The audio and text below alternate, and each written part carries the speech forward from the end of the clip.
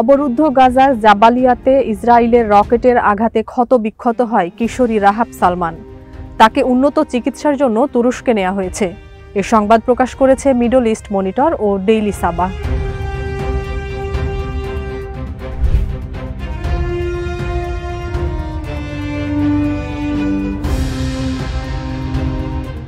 গত ছয় আগস্ট রাতে একসাথে খাবার খাওয়ার জন্য ভাইকে ডেকে আনতে গিয়ে হামলার শিকার হয় রাহাব আর তার ভাই। মোহাম্মদ সালমান। রাহাপের সারা শরীর স্প্লিন্টারের আঘাতে ক্ষতবিক্ষত হয়। হাসপাতালে নেয়ার পর তার দুই পা ও ডান হাত কেটে ফেলতে হয়, পেটেও আঘাত পায় সে। গলার হাড় ভেঙে যায় এবং কাঁধেও অনেক ব্যথা পায়, চোখেও সমস্যা হয়। তার গুরুতর অবস্থা দেখে হামাস তাকে তুরস্কে উন্নত চিকিৎসার জন্য পাঠানোর ঘোষণা দেয়। এক বিবৃতিতে জানায়, তুর্কি প্রেসিডেন্ট রজব তয়েব এরদোগান রাহাব সালমান এবং তার পরিবারকে তুরস্কে চিকিৎসার জন্য আন্তরিকতার সাথে সম্মত হয়েছেন।